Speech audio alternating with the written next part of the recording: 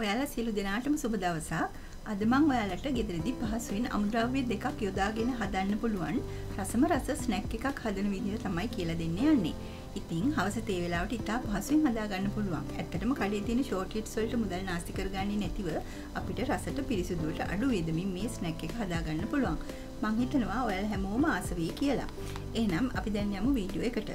අවශ්‍ය ද්‍රව්‍ය පහළ ඩිස්ක්‍රිප්ෂන් බොක්ස් එකේ දාලා තියෙනවා. මං අල ග්‍රෑම් පන්සීයක් අරගෙන මේ විදිහට පොත්තු සුද්ධ කරගන්නවා. ඔයාලා කැමති ප්‍රමාණයක් අල අරගන්න. ඒ අනුව මෙම රෙසිපියකට යොදන අනිකුත් ද්‍රව්‍ය වෙනස් කරගන්න. දැන් මං අල ඔක්කොම සුද්ධ කරගත්තා.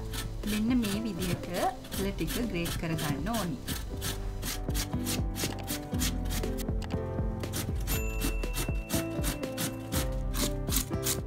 දැම්මන් ලූුණු ගෙඩියකුත් මේ විදියට ග්‍රේට් කර ගන්නවා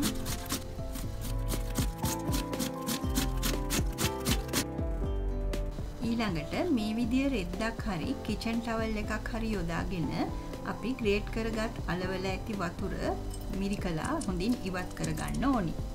දැන් අලවල තෙතගතිය උරාගන්න මේ විදියට පේපසවියට එකට දාගන්න. ඊළඟට බෝල් එකක් අරගෙන මං බිත්තර දෙකක් දාගෙන තරමක් මේ විදිහට බීට් කරගන්නවා.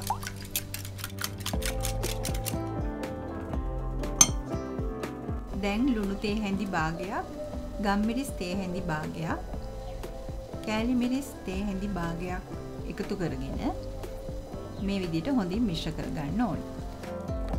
ඊළඟට ග්‍රේට් කරගත් අල ටික බිත්තර මිශ්‍රණයට දාගෙන මං බේකින් පවුඩර් තේ හැඳි භාගෙකුත් එකතු කරගන්නවා. දැම්මට ඕනි වෙනවා ලූණු කොළ ලූණු කොළ අහුරක් වගේ අරගෙන මේ විදිහට හීනියට කපා ගන්න. හීනියට කපාගත් ලූණු කොළ වලින් තේ හැඳි දෙකකුත් පාන් කුඩු ග්‍රෑම් 150කුත් හොඳ රසයක් අරගන්න සුදු ලුණු ටිකකුත් ග්‍රේට් කරගෙන මේ විදිහට දාගන්නවා.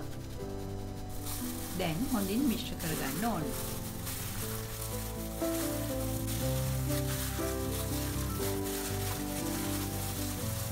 මිශ්‍රණය ටිකක් අරගෙන මෙන්න මේ විදිහට පැතලි කරගෙන පිඟානක අහුර ගන්නවා.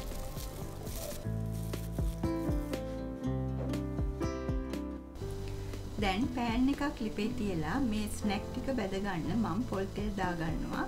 ඒකටම මම බටර් මේස හැන්දකුත් එකතු කරගන්නවා. එතකොට අපි හදන මේ පොටේටෝ ස්නැක් එකට හොඳ රසයක් ලබා දෙනවා. ඊළඟට තෙල් රත් වෙනකොට අපි හදාගත්ත පොටේටෝ ස්නැක් මේ විදිහට බැද ගන්න ඕනි.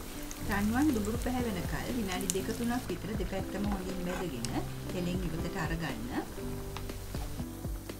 ඉතින් මේ තියෙන්නේ අපි හදාගත්ත රසම රස පොටේටෝ ස්නැක්ස්.